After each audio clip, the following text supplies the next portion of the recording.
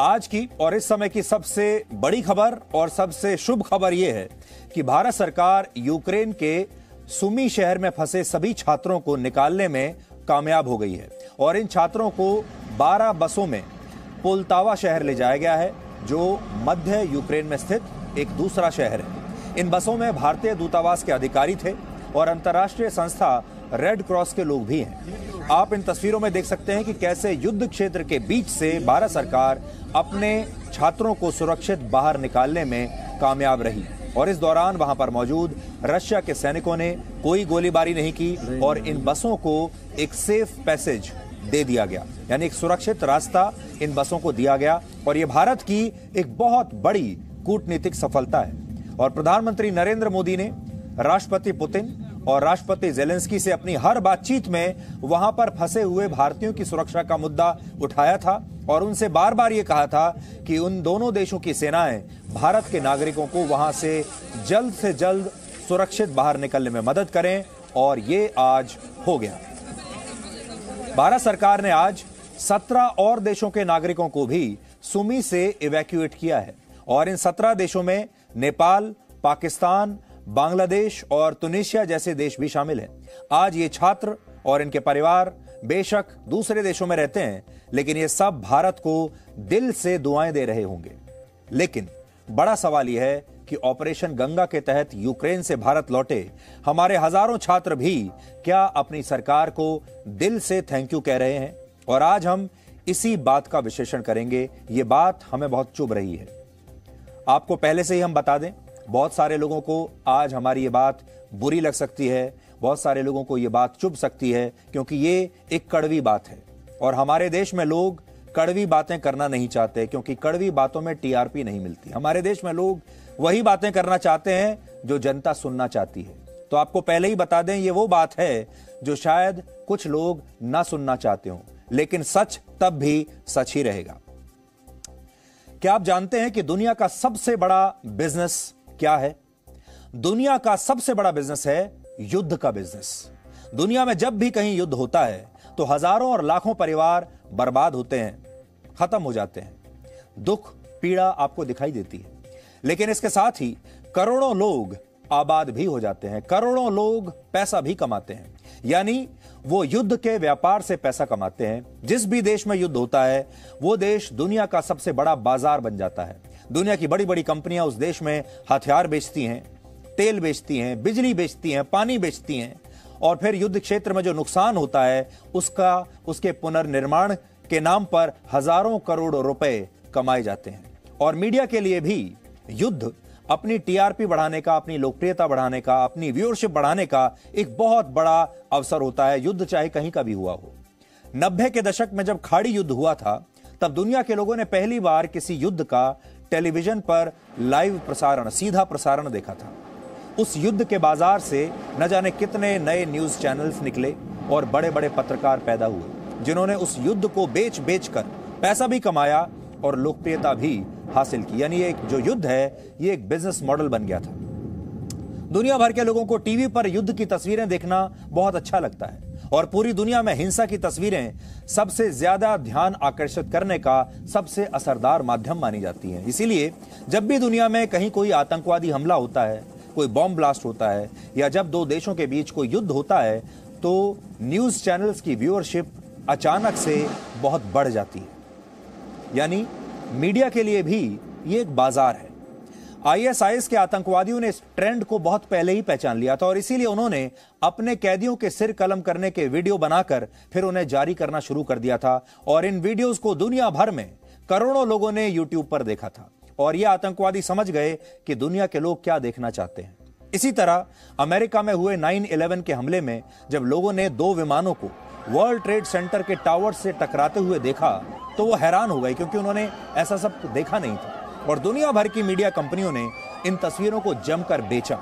इसलिए इस बार, जो इस बार का यूक्रेन और रशिया युद्ध है यह भी मीडिया के बाज़ार में ज़बरदस्त तरीके से बिक रहा है। और आज, चाहे पूरी दुनिया की आप बात कर लीजिए या अपने देश भारत की बात कर लीजिए, सबसे ज़्यादा जो व्यूअरशिप है, वो इसी युद्ध की है।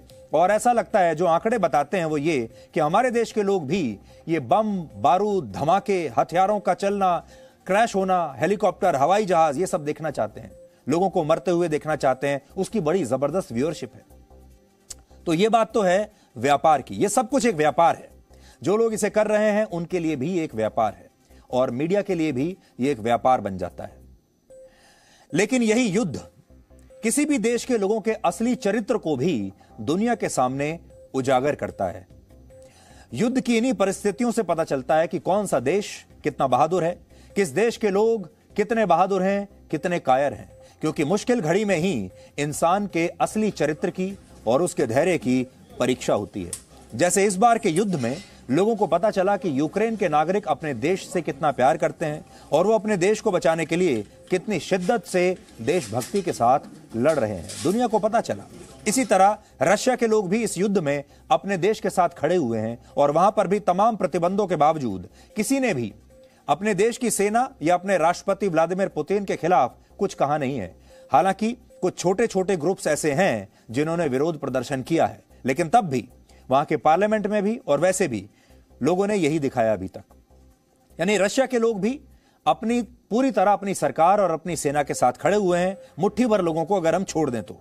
इसी तरह इस युद्ध में, यूरोप में पोलैंड जैसे देशों के लोगों का चरित्र भी पता चला। जिस तरह से पोलैंड के लोगों ने दिल खोलकर यूक्रेन से आने वाले शरणार्थियों की मदद की है, उन्हें अपने घरों में रहने की जगह दी है, उससे पता चलता है कि पोलैंड के लोग कितने दयालु हैं और कितने बड़े दिल वाले हैं। इन देशों के बाद इस युद्ध ने भारत के युवाओं के असली चरित्र के बारे में भी पूरी दुनिया को बता दिया है। भारत के अठारह युवा छात्र यूक्रेन में रहते थे। और उनमें से लगभग छियानवे प्रतिशत छात्रों को भारत सरकार अब सुरक्षित रूप से वापस वापस देश ला चुकी है। इस संकट के दौरान हमारे देश के युवाओं ने जो पहली बात दुनिया को बताई वो ये कि वो जल्द से जल्द वहाँ से भागकर भारत आना चाहते थे। और दूसरी चीज़ उन्होंने ये बताई कि उनमें यूक्रेन में रहने वाले बाकी देशों के छात्रों के मुकाबले शायद सबसे कम धैर्य था। लेकिन सबसे ज़्यादा शोर भी हमारे देश के छात्रों ने ही मचाया। सबसे ज़्यादा वीडियोस भी हमारे देश के छात्रों ने ही बनाए। सबसे ज़्यादा अपील हमारे देश के छात्रों ने ही की। ये कहते हुए कि हमें जल्दी से जल्दी बस किसी तरह से निकाल लीजिए। आपको इतने सारे वीडियोस किसी दूसरे देश के छात्रों ने बनाकर आपको नहीं मिलेंगे, जितने हमारे देश के छात्रों ने बनाए हैं। पूरी दुनिया में चाहे आप कोई भी भाषा बोलते हो, एक शब्द होता है जैसे अंग्रेज़ी में कहते हैं थैंक यू हिंदी में कहते हैं, धन्यवाद. उर्दू में कहते हैं, शुक्रिया. दुनिया में आप चाहे किसी भी देश के हों, किसी भी धर्म के हों, किसी भी प्रजाति के हों, लोग छोटी छोटी बात पर भी थैंक यू कहना नहीं भूलते। यहाँ तक कि अगर आप सड़क पर किसी से रास्ता भी पूछते हैं तो उसे भी धन्यवाद ज़रूर कहते हैं थैंक यू ज़रूर कहते हैं। लेकिन इस बार, यूक्रेन से आए बहुत सारे भारतीय छात्रों के अभद्र व्यवहार से पता चला कि वो ना तो अपने देश का सम्मान करते हैं, ना ही उन्हें पूरी देश में, पूरी दुनिया में अपने देश की छवि से कोई मतलब है, और ना ही उन्हें किसी को दिल से धन्यवाद देना आता है। और वो अपने देश के लोगों से मिल रही इस मदद को शायद अपना हक समझ बैठे हैं। और कोई भी मदद जब आप हक की तरह स्वीकार करते हैं तो उसमें से खुशी और कृतज्ञता चली जाती है, सिर्फ़ शिकायत बचती है। और हमारे देश के बहुत सारे छात्र जब अपनी मातृभूमि पर सुरक्षित लौटे तो उनके चेहरे पर कृतज्ञता का भाव नहीं था। उनके चेहरे पर एक अजीब सी नाराज़गी थी। उनके चेहरे पर एक गुस्सा था। वो असंतुष्ट थे। उनके चेहरे पर एक रोष था और अपने देश के प्रति शायद एक हीन भावना थी। हम ऐसा नहीं कह रहे हैं कि हमारे देश के सभी छात्रों ने ऐसा किया। बिल्कुल नहीं। सभी छात्रों ने नहीं किया। लेकिन कुछ ऐसे छात्र ज़रूर थे जो खुद को भारतीय होने पर शायद गौरवान्वित महसूस नहीं कर रहे थे।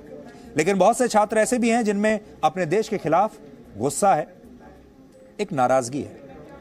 आज जिन दूसरे देशों के छात्रों को भारत सरकार ने वहाँ से सुरक्षित बाहर निकाला है, वो भारत का गुणगान कर रहे हैं। उनके परिवार वाले भारत को धन्यवाद दे रहे हैं। लेकिन हमारे अपने छात्र शायद ये भूल गए। भारत सरकार ने इन छात्रों की वापसी के लिए अपने चार सीनियर मंत्रियों को यूक्रेन के पड़ोसी देशों में भेजकर सबसे बड़ा ऑपरेशन चलाया। और इसके तहत विशेष विमानों को इन देशों में भेजा गया।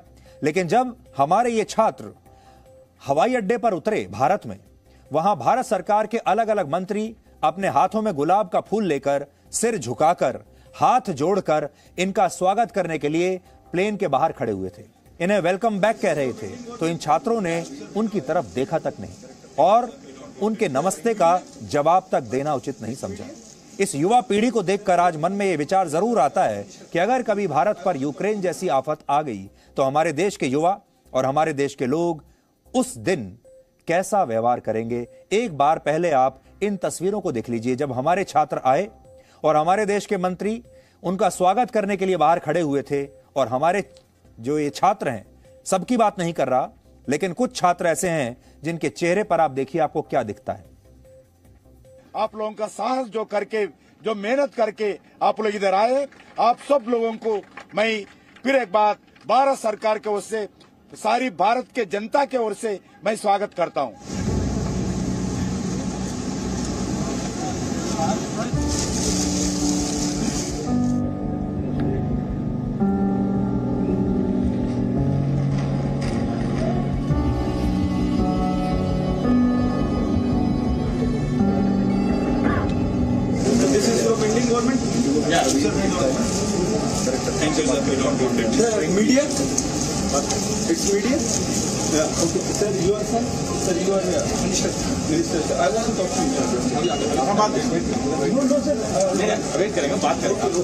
It's got, uh, it's got to stop everyone.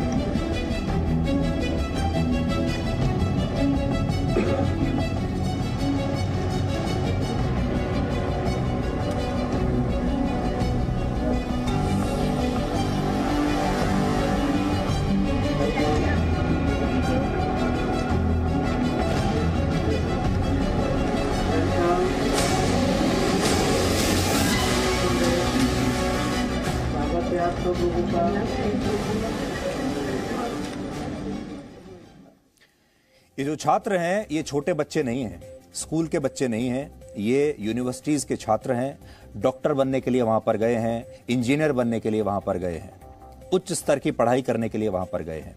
इन तस्वीरों को हमारे देश के विपक्षी नेता इस्तेमाल कर रहे हैं, हमारे देश की सरकार का मज़ाक उड़ाने के लिए। कह रहे हैं कि देखिए, हमारे देश के मंत्री वहाँ पर गए और किसी ने देखा तक नहीं। आप जानते हैं, हमारे देश में ये भी राजनीति करने का एक तरीका है कि अपने देश का मज़ाक उड़ाइए अपनी सरकार का मज़ाक उड़ाइए और लोगों को ये बताइए, पूरी दुनिया को ये बताइए कि हमारे छात्र कैसे हैं। तो मैं ये कहूँगा कि इन तस्वीरों का एक तरीके से दुरुपयोग हो रहा है और हमारे देश के जो विपक्ष के लोग हैं, हमारे देश के कुछ जो लिबरल्स हैं, जिन्हें लोकतंत्र खतरे में नज़र आता है, जो राजनीति से प्रेरित लोग हैं, मीडिया में भी ऐसे लोग हैं, वो सब इन तस्वीरों को सोशल मीडिया पर डालकर मज़ाक उड़ा रहे हैं। उन्हें आज ऐसा लगता है कि किसी एक नेता का मज़ाक उड़ा रहे हैं। उन्हें लगता है वो मोदी का मज़ाक उड़ा रहे हैं, लेकिन असल में वो भारत का मज़ाक उड़ा रहे हैं पूरी दुनिया में। इन तस्वीरों को देखकर आज आपको ऐसा लग रहा होगा कि इन छात्रों को इस बात की बिल्कुल भी खुशी नहीं है कि भारत सरकार उन्हें यूक्रेन के युद्ध क्षेत्र से सुरक्षित बाहर निकाल कर लाई है। बल्कि इन छात्रों के व्यवहार को देखकर ऐसा लगता है जैसे ये देश के लिए शायद कोई बहुत बड़ा काम करने के लिए यूक्रेन गए थे।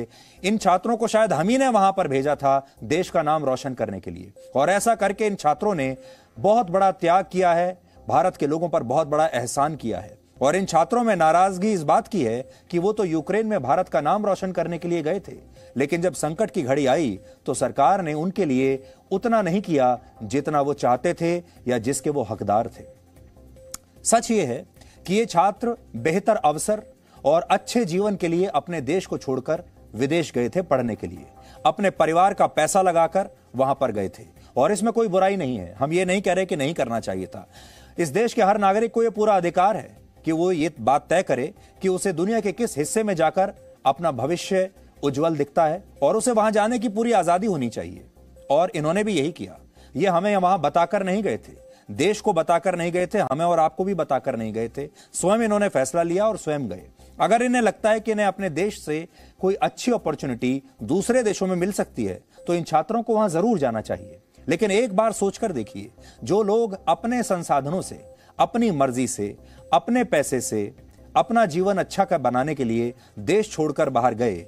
अगर वो युद्ध होने पर वहाँ फंस जाते हैं और ऐसा सोचते हैं कि उन्हें देश वापस लाना अब भारत के लोगों की और भारत की सरकार की पूरी ज़िम्मेदारी है तो ये उनका हक है। ये सही नहीं हो सकता।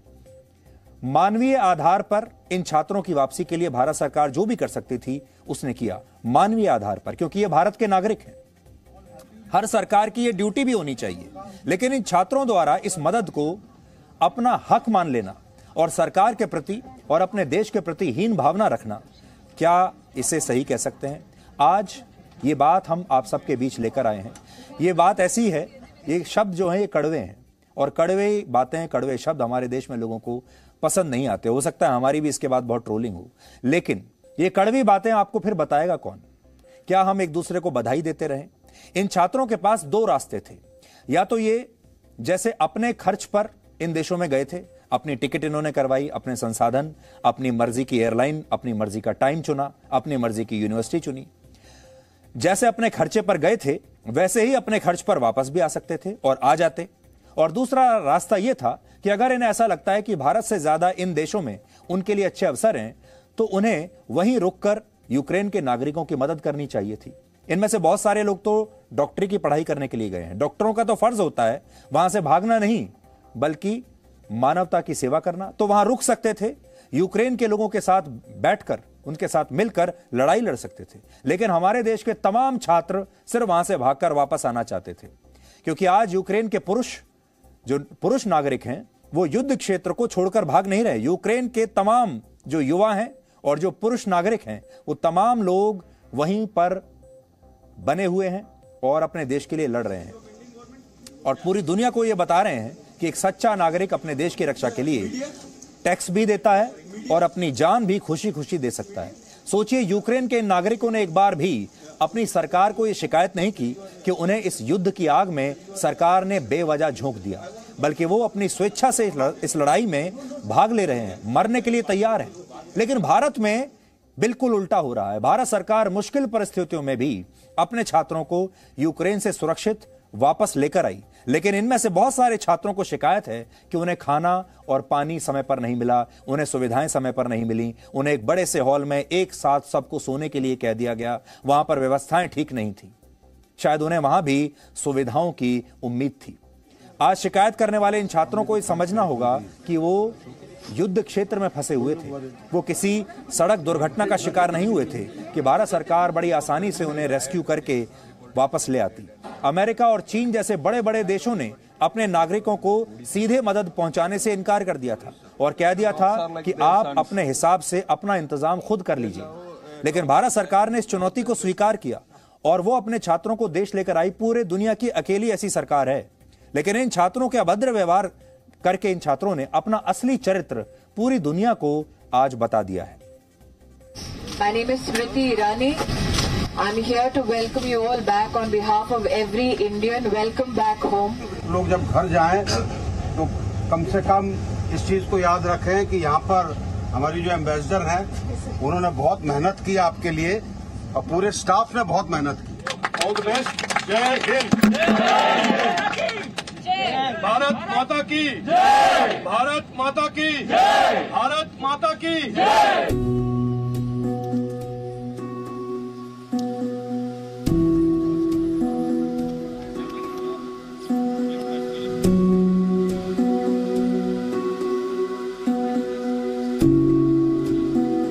anything happen to us, any to anyone, Mission Ganga will Biggest failure. ऐसी सिचुएशन में जहाँ गवर्नमेंट को सारी चीज़ें पता है वहाँ उन्हें हमें बोलना चाहिए था कि आप लोग छोड़ दीजिए Ukraine as soon as possible Indian embassy ने कोई एडवाइजरी हमारे लिए नहीं दी थी कीव के लिए दी थी कीव स्टूडेंट्स के लिए। अगर उस समय हमें एडवाइजरी मिल जाती तो आज इतने बच्चे जो फंसे थे वो आज फंसे ना होते। हम लोग ज़्यादातर निकल चुके होते। इंडियन एम्बेसी वालों ने कुछ हेल्प नहीं करी हमारी वहाँ पे। किसने हेल्प करी? हमारे एजेंट्स ने हेल्प किया हमारी। इंडियन एम्बेसी में जाने के बाद उन्होंने हमें दो दिन का वहाँ स्टे दिया लेकिन कोई इतनी हेल्प नहीं हुई क्योंकि फ़ूड नहीं था खाने को उनके पास वाटर नहीं था वॉशरूम फैसिलिटी कुछ भी नहीं। सब अपने आप करना पड़ रहा। है बसेस वगैरह जो अब लास्ट तीन चार बसेस निकली है वो सीनियर्स के थ्रू और जो वहाँ हमारे देख रेख करते हैं हमारे हेड जो हॉस्टल्स वगैरह के उन्होंने करवाई हैं।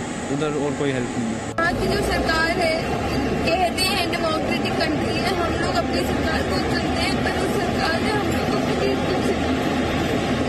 कम से कम हज़ार बच्चे एक शेल्टर में ऑफ़र दिया गया जो बाथरूम साफ़ करेगा उसको पहले लेके जाएँगे। सीरियसली हम इतना स्ट्रगल करके और बाथरूम साफ़ करेंगे पहले ये किसने कहा था आपसे? एम्बेसी इंडियन एम्बेसी ने इंडियन एम्बेसी ने तो बहुत गलत किया अच्छा ये कहा कि टॉयलेट साफ़ करिए फिर जाएँगे। नहीं नहीं जो जो पहले उन्होंने बोला I करेंगे। Wash वॉशिंग किसी की ऐसी हालत नहीं थी कोई नहीं उठा। जब उन्होंने बोला कि जो पहले वॉश करेगा उसको पहले लेके जाएँगे तब सब चले गए। क्योंकि बच्चे जाना चाहते थे वहाँ से निकलना चाहते सो आपने वहाँ किसी अधिकारी को मंत्री इतने सारे गए किसी को नहीं कहा? वहाँ पे हम इसलिए नहीं बोल सकते क्योंकि हमें निकलना था हमारी जो गवर्नमेंट है उसने बोर्ड यूक्रेन से बाहर सपोर्ट की यूक्रेन के अंदर क्यों नहीं सपोर्ट कर रही है हमें हमारी गवर्नमेंट लाइक अभी भी हमारी खारगिव सिटी में काफ़ी बच्चे फंसे हुए हैं स्टक है ऑलरेडी और आप जानते होंगे कि कितनी आप देखो ये बात आप समझो कि यूक्रेन का एयर स्पेस बंद हो चुका है। और एक देश में वॉर चल रहा है। उस वॉर के क्षेत्र में किसी भी सरकार को या किसी भी फॉरेन अथॉरिटी को जाने की इजाज़त नहीं मिलती। तो इसमें आपको आपको ये देखना चाहिए कि आप थैंक यू जो हमारे पास है सबसे पहले हमें वो ऑप्शंस तलाशने चाहिए कि अब हम क्या क्या कर सकते हैं। तो हमने जो किया तो मुझे लगता है बहुत किया आप आप लोग खुद ही उसके पर आप से में कैसे पहुँच सकती है हेल्प आप आप में से किसी के पास आइडिया है? बात हो सकती है जैसे अभी किस किससे कह के? यूक्रेन प्रेसिडेंट पर ये ये क्या क्या गारंटी है कि यूक्रेन का प्रेसिडेंट या यूक्रेन की सरकार ऐसा करेगी? कैसे करेगी बताइए? वो एक दूसरा देश है वो कर भी सकता है और मना भी कर सकता है। आप अपने दोस्तों को आज अगर वो पूछे कि आप बता दो कि मैं रुकूं या आ जाऊँ? आप क्या बताओगे उसको? और अगर वो आपने कहा कि रुक जाओ और तब मारा गया तो क्या करोगे? और अगर आपने कहा कि निकल जाओ तब मारा गया तब क्या करोगे? You never it's a war आपको ये समझना होगा इट्स अ वॉर तो मैं भी ऐसे बहुत सारे छात्रों को बॉर्डर पर पोलैंड और यूक्रेन के बॉर्डर पर मिला बसों में मिला। एक बात फिर से स्पष्ट करना चाहता हूँ सारे छात्र ऐसे नहीं हैं बहुत छात्र अच्छे हैं। अपने देश को प्यार करते हैं। उनके देश ने उन्हें बचाने के लिए जितनी कोशिशें की, उसका सम्मान करते हैं। हम सबकी बात यहाँ पर नहीं कर रहे हैं। इसलिए उन छात्रों को बुरा मानने की कोई आवश्यकता नहीं है। उनके परिवारों को, जो कि अपने देश को लेकर सही भावना रखते हैं। यहाँ हम बात कर रहे हैं उन छात्रों की, जो कि नाराज़ हैं, जो गुस्से में हैं, जो देश देश के मीडिया से, दुनिया भर के मीडिया से वीडियो बना बनाकर ये कह रहे हैं कि हमारे देश ने हमारे लिए कुछ नहीं किया। बावजूद इसके कि भारत जितने जितने जो कोशिश भारत ने की है, वो किसी दूसरे देश ने नहीं की। आप खुद सोचिए, आपको दूसरे देशों के बच्चों के कितने वीडियोस अभी तक देखने को मिले हैं? हमारे यहाँ से सैकड़ों, हज़ारों वीडियोस लोगों ने बना बना के डाल दिए। और पूरी दुनिया में ये बताने की कोशिश की कि हमारी कोई मदद नहीं हो रही है, जबकि ये एक युद्ध क्षेत्र है। युद्ध क्षेत्र में भी आपने देखा होगा, बहुत सारे छात्र ऐसे हैं जो ये कह रहे हैं कि हम अपना टॉयलेट साफ़ नहीं करेंगे, वहाँ पानी की सुविधा नहीं है, वहाँ रहने की सुविधा नहीं है। ऐसी जगहों पर भी उन्हें सुविधाओं की मांग करनी है। ऐसी जगहों पर जान बच जाए, ये एक बहुत बड़ी बात है। लेकिन, एक और कड़वी सच्चाई यह है कि हमारे देश का एक खास वर्ग, हमारे देश के कुछ विपक्षी नेता, हमारे देश के कुछ लिबरल्स मीडिया के भी कुछ लोग, अब ये कह रहे हैं कि भारत सरकार ये सब कुछ अपनी पब्लिसिटी के लिए कर रही है। ये मंत्रियों को वहाँ पर भेजना, उसके बाद उन मंत्रियों को हवाई अड्डे पर भेजना, बच्चों का स्वागत करना, ये सब एक पब्लिसिटी स्टंट है। जबकि ऐसा नहीं है, ये सच्चाई नहीं है। ये सब ये बताने के लिए है कि जब दुनिया की बड़ी बड़ी महाशक्तियों ने अपने नागरिकों को संकट के बीच यूक्रेन में मरने के लिए बिना मदद के छोड़ दिया, तब भारत सरकार अपने नागरिकों को सुरक्षित देश लेकर आई। ये कोशिश देश के 140 करोड़ लोगों में आत्मविश्वास भरने के लिए है, ताकि अगली बार जब दोबारा भगवान ना करे कोई ऐसी मुसीबत में फंसे तो उसे हमेशा ये बात याद रहे कि उनका देश और उनकी सरकार, चाहे वो दुनिया में किसी भी कोने में फंसे हों, उन्हें ज़िंदा निकालने के लिए वहाँ आज नहीं तो कल पहुँच जाएगी। और ये पूरी दुनिया को भारत की नई ताकत के बारे में बताने के लिए है कि जब हमारा देश मुश्किल घड़ी में दूसरे देशों की मदद का इंतज़ार अब नहीं करता। एक जमाना था जब हम दूसरे देशों की मदद का इंतज़ार किया करते थे। और आज इन छात्रों को भी ये समझना होगा कि भारत सरकार के जो मंत्री हैं ये उनके सेवक ज़रूर हैं, लेकिन उनके नौकर नहीं है। सेवक और नौकर में एक बड़ा अंतर होता है। हमारे देश के प्रधानमंत्री भी कहते हैं अपने आप को कि वो प्रधान सेवक है। तो प्रधान सेवक हैं, वो सेवा कर रहे हैं, लेकिन सेवक को नौकर नहीं समझना चाहिए।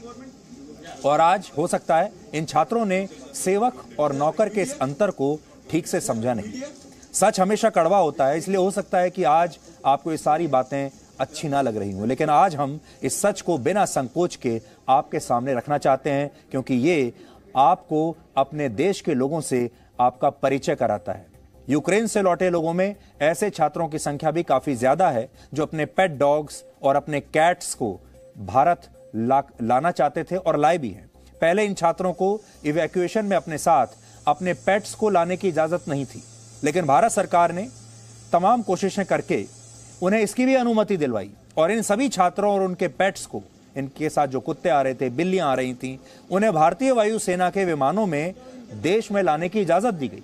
लेकिन इनमें भी कई छात्रों की सोच देखिए कि इसके बावजूद ही अपने देश को हीन भावना से देख रहे हैं और सरकार के प्रति धन्यवाद का कोई भाव इनके चेहरे पर दिखाई नहीं दे रहा। आज यूक्रेन से आए इन युवा छात्रों में और वर्ष 1999 के कांधार हाईजैक में बंधक बनाए गए लोगों के परिवारों में आपको शायद कोई अंतर नज़र नहीं आएगा, कोई फ़र्क नज़र नहीं आएगा। इसलिए आज के दिन मैं आपको फ्लैशबैक में लेकर जाना चाहता हूँ और 1999 का एक किस्सा याद दिलाना चाहता हूँ।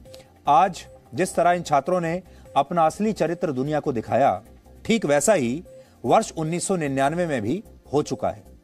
उस समय आतंकवादियों ने इंडियन एयरलाइंस की फ़्लाइट आईसी 814 को काठमांडू और दिल्ली के बीच हाईजैक कर लिया था। और एक सौ नवासी यात्रियों और क्रू मेंबर्स की रिहाई के बदले तत्कालीन भारत सरकार को मसूद अजहर समेत तीन खूंखार आतंकवादियों को अपनी जेल से रिहा करना पड़ा था। उस समय जनता के दबाव, उनके गुस्से और उनके आक्रोश के सामने भारत की सरकार को झुकना पड़ा था। यानी उस समय किसी को राष्ट्र की परवाह नहीं थी। सबको इस विमान में फंसे अपने परिवार के लोगों की फ़िक्र थी।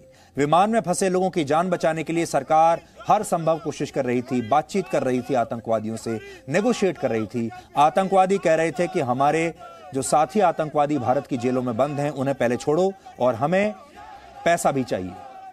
लेकिन इससे पहले कि सरकार उनसे ठीक से नेगोशिएट करती, भारत की जनता का दबाव इतना ज़्यादा बढ़ गया और देश में माहौल ऐसा बना दिया गया कि राष्ट्र कमज़ोर पड़ने लगा। उस समय बंधकों के परिवार बेचैन हो गए और वो सरकार पर तरह तरह के आरोप लगाने लगे और कुछ बंधकों के रिश्तेदारों ने प्रधानमंत्री आवास के बाहर धरना देना शुरू कर दिया, विरोध प्रदर्शन देने, करने शुरू कर दिए। और सबकी एक ही शिकायत थी कि सरकार बंधकों पर फैसला नहीं ले रही, सरकार इन्हें छोड़ाना नहीं चाहती। और सरकार विलंब कर रही है, जिससे भारत के नागरिकों की जान खतरे में है। और हमारे देश के विपक्षी नेताओं ने भी इन परिवारों को खूब चढ़ाया, इन्हें खूब उत्तेजित किया और कहा कि नहीं, आप ऐसी मांग करिए। उस समय भारत के मीडिया ने भी इन परिवारों के आंसुओं का लाइव टेलीकास्ट करके पूरे देश में एक ऐसा माहौल बना दिया, जिससे ये छवि बनी कि भारत के लोग आतंकवादियों के सामने सरेंडर करना चाहते हैं और भारत का कोई भी परिवार अब अपनी कुर्बानी देने के लिए तैयार नहीं है। इस माहौल को बनाने में उस समय के मीडिया का एक बहुत बड़ा रोल था। और आज बहुत ईमानदारी से हमें स्वीकार करने में कष्ट तो हो रहा है, लेकिन ये बात सच है। और हमें इस बात का खेद है कि उस समय ऐसी खबरों का प्रसारण जी न्यूज़ पर भी हुआ था। जब हमने भी ये कहा था कि देश के लोग क्या चाहते हैं और देश के लोगों की मर्ज़ी के सामने सरकार को झुकना पड़ा, और सरकार ने भी सोचा कि जब देश के लोग ही नहीं चाहते कि हम आतंकवादियों से लड़ें और देश के लोग अपनी कुर्बानी नहीं देना चाहते तो फिर सरकार भी क्या करे? देश के लोग तब ये चाहते थे कि सेना के लोग कुर्बानी देते रहे, लेकिन कोई सिविलियन अपनी कुर्बानी नहीं देगा। आज हम आपसे कहना चाहते हैं कि उस समय हमसे ये त्रुटि हुई थी, ये हमसे भी गलती हुई थी। उस समय हमें ऐसा नहीं करना चाहिए था। और हम भी इन परिवारों के आंसुओं के सामने बड़े मुद्दों को समझ नहीं पाए। और आज हम सस्ती लोकप्रियता और टीआरपी के लिए वो काम नहीं करना चाहते जो 1999 में किया था। आज आपको दो बातें समझनी है। पहली बात, इन छात्रों की नाराज़गी। इनके अपने फ़ायदे के लिए है राष्ट्र हित के लिए नहीं। और दूसरी बात, ये छात्र ऐसा करके भारत की ही छवि को नुकसान पहुँचा रहे हैं। और इस समय आप ये भी देखिए, जरा कल्पना करके देखिए कि यूक्रेन में आज जो हालात हैं, अगर ये हालात कभी भविष्य में भारत में बन गए तो भारत के लोग कैसा व्यवहार करेंगे? भारत के युवा कैसा व्यवहार करेंगे? क्या वो अपनी सेना के साथ वैसे ही लड़ने के लिए तैयार हो जाएँगे, जैसे कि यूक्रेन के लोग लड़ रहे हैं? या फिर वो ये कहेंगे कि लड़ने का काम और कुर्बानी देने का काम तो सेना का है, हम तो टैक्स पेयर हैं, हम अपने घर पर रहेंगे। और एक बहुत बड़ा वर्ग तो ऐसा होगा जो अपनी ही सरकार की आलोचना करने लगेगा और कहेगा कि सरकार की गलती की वजह से आज हमें युद्ध की स्थिति देखनी पड़ रही है। और ऐसा भी वर्ग होगा हमारे देश का जो विरोधी देश विरोधी सेना या दुश्मन देश के साथ मिल जाएगा और उनकी तारीफें करेगा और अपने देश के मनोबल को तोड़ेगा। आज हम आपसे एक और मुद्दे पर बात करना चाहते हैं। भारत सरकार यूक्रेन से केवल भारतीय छात्रों को वापस नहीं लाई लेकिन यूक्रेन में बल्कि यूक्रेन में रह, रहकर काम करने वाले भी बहुत सारे भारतीय नागरिकों को वहाँ से इवैक्यूएट किया गया है। और एक बड़ी खबर जो अब तक मैंने आपको नहीं बताई और यह खबर आज आपको इसलिए बता रहे हैं हम कि अब तक हमारे छात्रों को वहाँ से इवैक्यूएट किया जा रहा था और हमारे छात्र वहाँ पर फंसे हुए थे। आज हमारे तमाम छात्र और हमारे सभी नागरिक अब वहाँ से निकल चुके हैं। इसलिए आज मैं ये खबर आपको बता रहा हूँ। इस खबर को हमने इतने दिन रोक कर रखा क्योंकि इस खबर का बुरा प्रभाव वहाँ पर फंसे हुए भारतीयों पर पड़ सकता था। लेकिन आज आपको कुछ सच्चाई जाननी चाहिए। और वो खबर यह है कि ऐसे भारतीयों की संख्या हज़ारों में है। जो यूक्रेन से निकलकर पोलैंड और स्लोवाकिया जैसे पड़ोसी देशों में तो शरण लेने के लिए पहुँच गए। लेकिन इसके बाद इन लोगों ने भारत आने से मना कर दिया। जब भारतीय दूतावास ऐसा में सूत्रों से पता चला है कि भारतीय दूतावास ने जब इन लोगों से संपर्क किया और इन्हें बताया कि सरकार ने उनके लिए विशेष विमान की व्यवस्था की है, उन्हें ले जाने के लिए विमान में सीटें खाली हैं, जगह रखी गई है, तब ये लोग जहाँ पर रुके हुए थे वहाँ से भी गायब हो गए और भारतीय दूतावास को भी कोई जानकारी दी नहीं। और ऐसा इन लोगों ने इसलिए किया क्योंकि इन भारतीयों को भारत आना ही नहीं है। इन्हें इन्हें ऐसा लग रहा है कि ये युद्ध उनके लिए एक तरीके से यूरोप का पासपोर्ट बन सकता है, यूरोप का टिकट बन सकता है, यूरोप में इनकी एंट्री हो सकती है इस युद्ध के बहाने। और वो एक शरणार्थी का दर्जा हासिल करके यूरोप के देशों में जाकर बस सकते हैं। तो मुझे बहुत सारे ऐसे भारतीय वहाँ पर मिले और उनकी कहानियाँ मुझे पता चली, जो यूक्रेन से तो यूरोप में आ गए हैं, पोलैंड में आ गए हैं, दूसरे पड़ोसी देशों में आ गए हैं। लेकिन अब वो भारत नहीं आना चाहते। वो वहीं पर रुकना चाहते हैं और वो ये सोच रहे हैं कि उन्हें शरणार्थी के तौर पर वहीं पर या तो लीगली या इलीगल तरीके से वहीं पर उन्हें एंट्री मिल जाए। असल में भारत से जो लोग यूक्रेन, रशिया और बेलारूस जैसे देशों में पढ़ने के लिए और काम करने के लिए जाते हैं, उन्हें सिर्फ़ इन्हीं देशों का वीज़ा मिलता है और यूरोप के देशों में जाने के लिए इन्हें अलग से वीज़ा लेना पड़ता है, जो कि मुश्किल, बहुत मुश्किल प्रक्रिया होती है, जटिल होती है और बहुत बार ये वीज़ा मिलता भी नहीं है। यानी ये लोग यूक्रेन में जाकर तो बच सकते हैं, लेकिन यूरोप जाना उनके लिए एक सपने की तरह होता है। हालाँकि उनका सपना जो आखिरी मंजिल होती है, वो यूरोप ही होता है।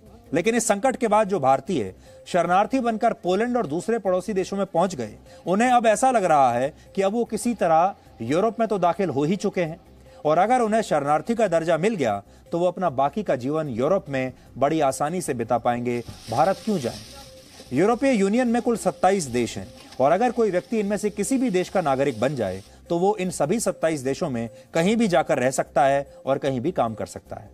दूसरी बात, इसके पीछे एक पूरा बिज़नेस मॉडल है। आपने देखा होगा, यूक्रेन से आए बहुत सारे छात्र ऐसे हैं, जो अंग्रेज़ी भाषा भी ठीक से बोल नहीं पाते।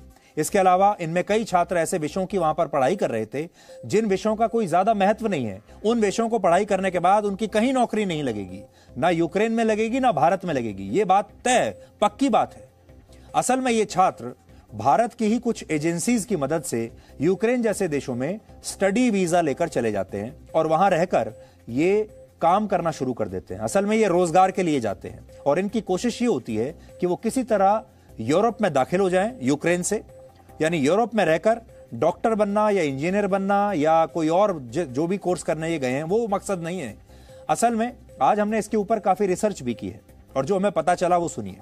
पूरी दुनिया में केवल पाँच देश ऐसे हैं जहाँ मेडिकल की पढ़ाई करने वाले छात्रों को भारत में आकर कोई टेस्ट नहीं देना पड़ता। और ये देश हैं अमेरिका, ब्रिटेन, कनाडा, ऑस्ट्रेलिया और न्यूजीलैंड अगर आप यहाँ से मेडिकल डिग्री लेकर आए हैं तो आप सीधे भारत में प्रैक्टिस कर सकते हैं। कोई एग्ज़ाम देने की ज़रूरत नहीं। इन देशों से जो छात्र मेडिकल की पढ़ाई करके आते हैं, वो भारत में बिना किसी परीक्षा के काम शुरू कर सकते हैं। जबकि यूक्रेन जैसे देशों से मेडिकल की पढ़ाई करके आने वाले छात्रों को फॉरेन मेडिकल ग्रेजुएट्स एग्जामिनेशन देना पड़ता है। ये एक परीक्षा होती है। और इस परीक्षा में यूक्रेन से मेडिकल की पढ़ाई करने, करके आने वाले ज़्यादातर छात्र फेल हो जाते हैं। इस परीक्षा को पास ही नहीं कर पाते। और ऐसे छात्रों की संख्या सैकड़ों में नहीं, हज़ारों में होती है। तो एक बड़ी बात यह है। उदाहरण के लिए अगर यूक्रेन से 100 छात्र मेडिकल की पढ़ाई पूरी करके भारत लौटते हैं तो उनमें से केवल 16 छात्र ही इस परीक्षा को पास कर पाते हैं। यानी सिर्फ़ 16 परसेंट छात्र इस परीक्षा को पास कर पाते हैं और चौरासी परसेंट छात्र यूक्रेन से मेडिकल की डिग्री लेने के बावजूद इस परीक्षा को पास नहीं कर पाते और उसका मतलब यह है कि वो भारत में कभी भी प्रैक्टिस नहीं कर पाएँगे। यानी जो मेडिकल की डिग्री वो लेकर आते हैं, ये कागज़ के टुकड़े के बराबर होती है। इसलिए ये छात्र यूक्रेन में रहकर ही वहाँ कोई दूसरे छोटे मोटे काम करना शुरू कर देते हैं और वहीं रुक कर ये यूरोप जाने का सपना देखते हैं और जब ऐसा कोई संकट होता है तो वो यूरोप में शरणार्थी का दर्जा हासिल करने की कोशिश भी करते हैं, जैसा कि इस समय बहुत सारे भारतीय कर रहे हैं। हालाँकि यूरोपीय यूनियन की नीति भारत को लेकर बिल्कुल अलग है। ईयू का कहना है कि भारत पर कोई हमला नहीं हुआ है। ये हमला यूक्रेन पर हुआ है।